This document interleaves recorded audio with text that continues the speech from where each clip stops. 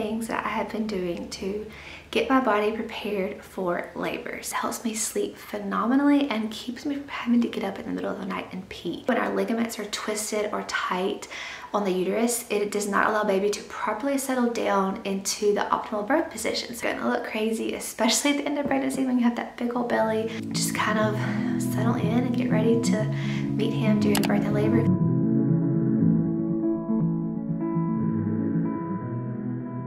Hey y'all, so today I'm going to be sharing with y'all 10 things that I have been doing to get my body prepared for labor. So if you've been following along, you know I'm pregnant with our third child. I am in the third trimester. I'm right at 31 weeks pregnant. So we're still a little bit of ways out from having baby, but I believe that all of these things are more effective when done earlier in pregnancy and routinely in pregnancy. They're going to be much more effective at helping labor progress more smoothly, helping baby get into optimal position. So the sooner you can start these things, the better is my philosophy. So I'm sharing those things with y'all today. So as always, I'll have links for all of these things I'm referencing in the description box below if you want to do further research on any of them. If you're new to my channel, please subscribe. I post two new videos every week on motherhood topics, pregnancy topics, natural living. So please subscribe so you don't miss any of my new videos. So first and foremost, always consult with your care provider before doing any of these things. This is never medical advice. This is just things that have helped me in past pregnancies and in this pregnancy for an easier pregnancy, more comfortable pregnancy. Jumping right in, first thing, number one, staying active. So this was much, much easier in my first pregnancy because I didn't have any other children. I was able to walk up and down the driveway two to three miles a day. I was able to exercise tons and tons of good pregnancy exercising routines, did tons of yoga, now in my last pregnancy and this pregnancy, things are a little bit different because last time I had a toddler, now I have two toddlers. So exercising and staying active looks a little bit different these days, but I try to move my body in some way every day, whether it be a 10 to 20 minute workout, just playing outside in the yard with my kids, walking around our property, working in the garden, pulling weeds, just staying active, not sitting on the couch all day. If you're a mama of toddlers, you know that you are not ever really sitting, so it's not that hard to stay active and keep your body moving. The main thing here is just don't lounge around all day. Baby will settle into improper position and we do not want that. Another way I stay active is by doing my spinning babies stretching routine, which I'll talk a little bit more about throughout this video. If you've been around, I talk about spinning babies all the time. I'm a huge advocate for doing spinning babies exercises during pregnancy, all throughout pregnancy. And that's just another thing I add in to keep my body active every day. Number two, avoiding a reclining position. So if I'm sitting on the couch, I really try not to lean back. try to keep my posture forward or I lean over on a pillow or I do lay down sometimes. But the main thing is we don't want our bodies reclined backwards because what's happening then is baby will gravitate to the path of least resistance. So we're leaning backwards. Gravity is going to allow our baby to kind of push its head down towards our tailbone. And that's okay for a short amount of time. But when we're in that position for long amounts of times, we're on a long car ride, we're just not holding optimal posture, we're kind of leaned back, baby's head will gravitate towards our tailbone, which can cause all sorts of discomfort in pregnancy. And if baby kind of settles into that position and ligaments get moved around, our body's just not holding a good shape, posture, baby will gravitate back there and it will make labor much more difficult. It will cause back labor pain, just lots and lots of issues. So avoiding that reclining position, instead you can lean forward onto pillows. If you're doing work at a desk, lean forward, keep your feet flat on the floor, or even better, sit on a birth ball so you're not tempted to recline back in your nice comfy desk chair. I try not to sit in recliners very often, just keeping your body leaned forward, good posture, good shoulder posture. Right now I'm actually sitting on a pillow while I'm filming this video, so I'm not tempted to lean back and arch around my back. So keeping good posture, avoiding that reclined back position, very, very important here later on in pregnancy. Number three, the forward leaning inversion. This is a famous spinning babies technique that I started with my first pregnancy and have continued throughout each of my subsequent pregnancies. They're actually really fun to do and you will actually look forward to doing them as you progress through your pregnancy. What they actually do is untwist the ligaments of the uterus. When you're in this position, your uterus is allowed to hang freely and then when you come out of this position is what actually is doing the good here.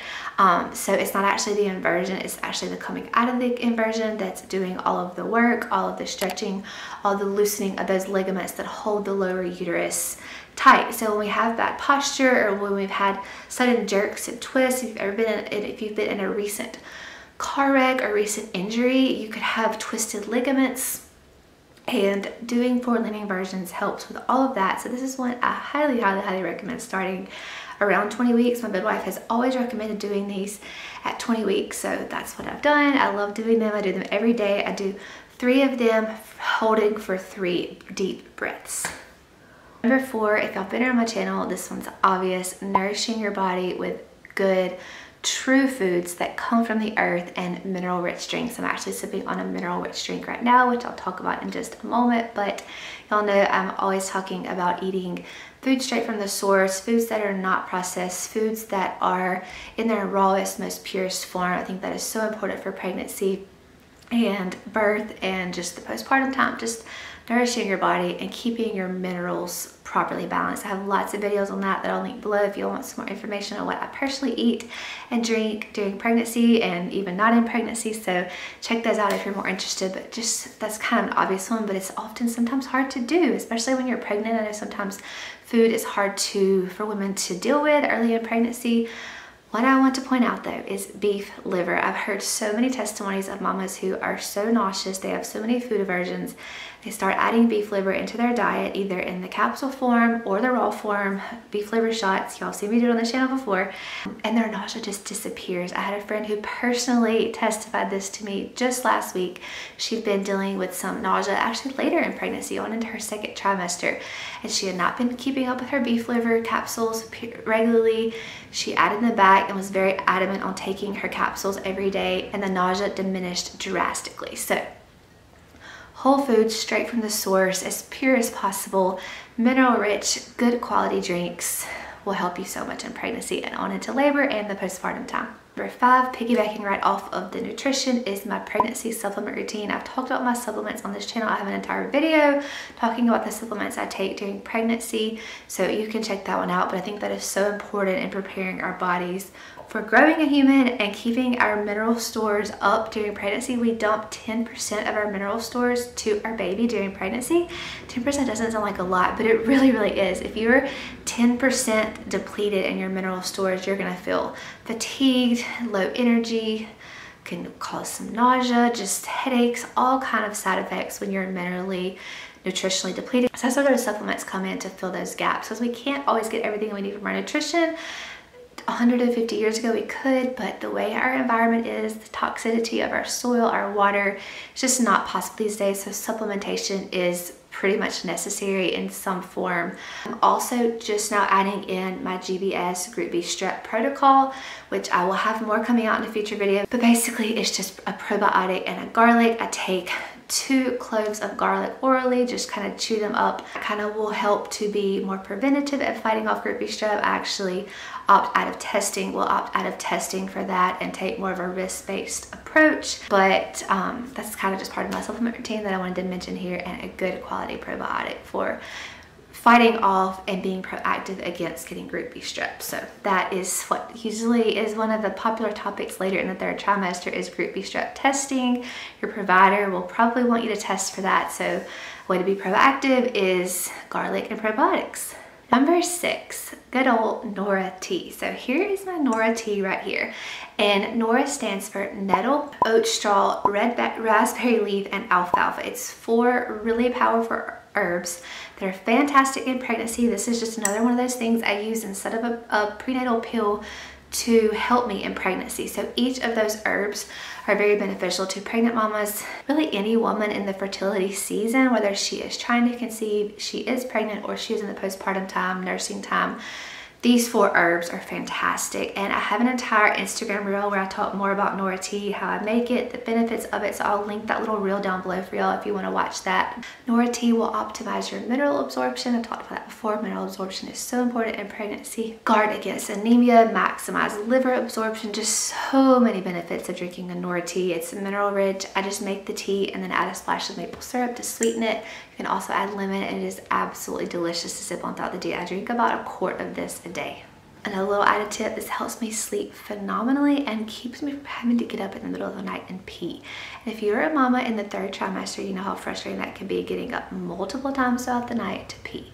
If I skip drinking this one day, I completely realize it at 3 a.m. in the morning when I'm having to get up and go to the bathroom. I'm immediately regretting not drinking my Nora tea for the day if I accidentally miss a day. So I'm very, very adamant about drinking this every day for the sleep, better sleep that it gives me. Number seven, chiropractic care. I have gone on and on and on about chiropractic care in this pregnancy. I did not have chiropractic care in my last two pregnancies. I can completely tell a difference in the way my body feels. I've not had any aches and pains, none of those, no sore back, no sore ligaments. It's just phenomenal. So not only is it good for the mama during pregnancy, but it's also great in preparing baby to get into that optimal position. As I mentioned before, when our ligaments are twisted or tight on the uterus, it does not allow baby to properly settle down into the optimal birth position. So with regular chiropractic care, especially at the end of pregnancy, if you're not gonna do it throughout the entire pregnancy, I highly advise looking into it the last six to eight weeks. I have actually been doing chiropractic care since I was six weeks pregnant and it was been phenomenal, but that is not in your budget.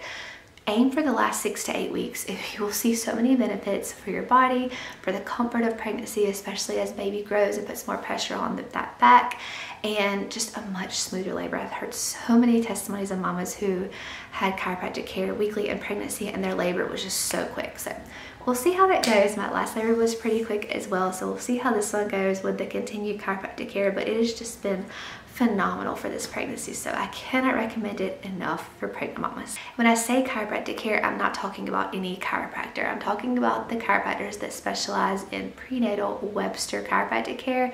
There is a difference there. They should be certified in treating prenatal patients and um, even better if you can find one that specializes in nervous system chiropractic care. So just a few little tips to add there. I don't go to just any chiropractor. We actually just got this chiropractor in our area. It's been, it was such a blessing that she moved to our area right at the beginning of my pregnancy. So that was totally a God thing that she moved here and was able to, has been able to treat me through my entire pregnancy. But chiropractic care, phenomenal. Number eight, crawling on your hands and knees. So this is actually a new one for me.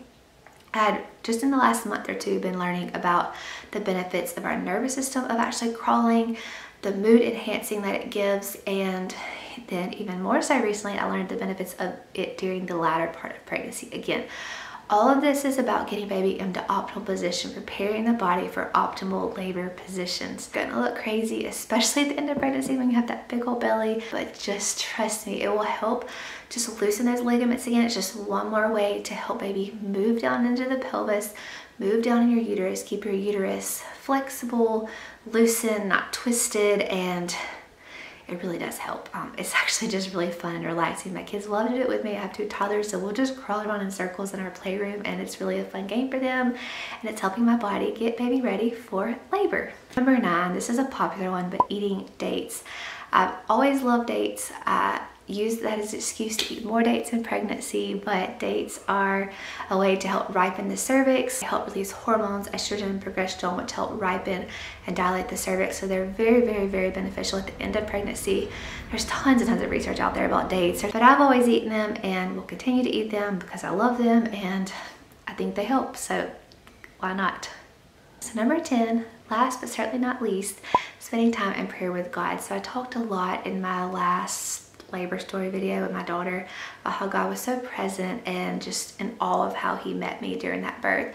And just spending time with him talking about what my wishes are for this birth i think he cares about the little things. So things like having my children be at my birth that's that's important to me. So may not happen, but it's something that I've talked with him about and prayed about, and that's just one of the wishes that I hope will happen. And I think he cares about the little things, and it's not like a little checklist, wish list, and if you don't get it, you're gonna be mad at God about it. But just talking with him and letting him know he already knows our expectations and our wants for birth and anything in life. But I think just expressing that and voicing it to him is important. And of course, if something doesn't happen, the what for exactly how I pray about it, I'm not going to be like let down. But I think that it is important to talk with God about it and just kind of settle in and get ready to meet him during birth and labor because I think he is there throughout the entire thing.